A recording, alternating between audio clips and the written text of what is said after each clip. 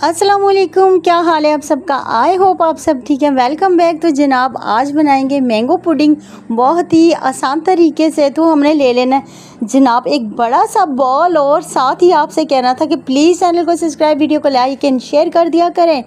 मैंने लिया हाफ़ के जी योगर्ट जिसका मैंने पानी निकाल दिया था। और इसमें जनाब मैंने एक कप पीसी हुई चीनी डाली पाउडर शुगर और एक कप फ्रेश क्रीम डालिए थिक वाली, ठीक है ना? तो आप भी इनको अच्छा सा मिक्स कर लेंगे, दही का पानी निकालने के लिए आपने क्या करना है कि या तो छलनी में रख देना है तो या फिर आपने मलमल के कपड़े में बाँध के लटका देना, आधा पौना घंटा तो उसका पानी जो है ना खुद ही रिमूव हो जाएगा। तो बस इस तरह से जनाब दही का सिस्टम था और इनको मैंने अच्छे से मिक्स कर लिया अब इसमें तकरीबन एक कप के करीब मैंगो प्यूरी डालूँगी, एक बड़ा आम लिया था उसकी सिंपल मैंगो प्योरी बना दिया कोई चीनी वगैरह, इसके अंदर मैंने नहीं डाली।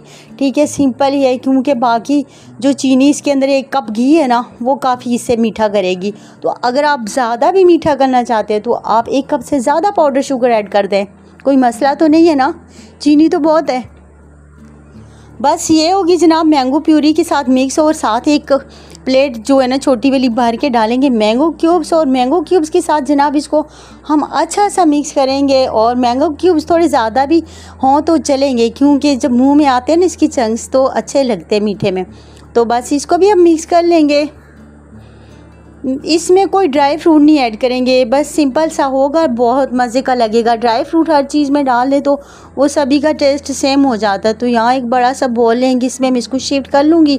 आप चाहें तो छोटे बॉल्स में या फिर गिलासों में आप इसे जो है ना शिफ्ट कर लें, क्योंकि अगर आप मेहमानों के लिए बना रहे हैं तो उस हिसाब से मैं फैमिली के लिए बना रही हूँ तो इसी हिसाब से मैं इसको बनाऊँगी। तो थोड़ी सी मैंने मैंगो प्यूरी छोड़ दी थी, उसे मैं इस इस तरह से डाल दूँगी सिपलॉक बैग में। आपके पास पाइपिंग बैग है तो उसमें डाल दें, बहुत अच्छा हो जाएगा।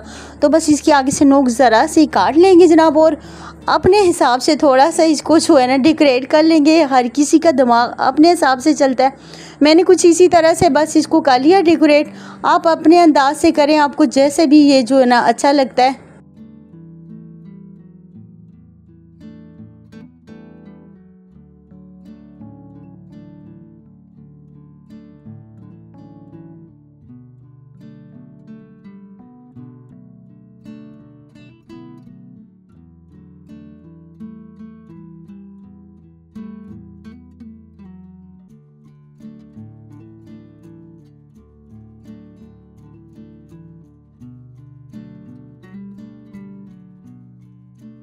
इसकी साइडों पे क्यूब्स रख देंगे मैंगो के। सिंपल आपको अच्छा लगता है तो सिंपल ही रहने दें। बाकी अपने हिसाब से आप इसको डेकोरेट कर दें। मैंने कुछ इस तरह से जो है ना इसको डेकोरेट किया। बहुत इस तरह से भी अच्छा लग रहा था। अभी इसको मैंने एक डेढ़ घंटे के लिए फ्रीज़र में रख दिया था फिर। और ये जब खूब सारा जब ठंडा हो गया था ना, फिर मैंने इसको निकाला था खाने के लिए। तो बहुत ही मज़ेदार सा जो है ना ये मीठा बनता है, ज़रूर इसको आपने ट्राई करना क्योंकि मैंगो कुछ ही दिनों के जो है ना हमारे मेहमान हैं।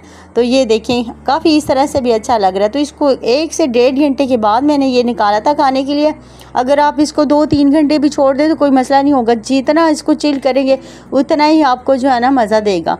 तो ज़रूर से आपने ट्राई करना वीडियो को लाइक और शेयर करें। अल्लाह हाफिज़।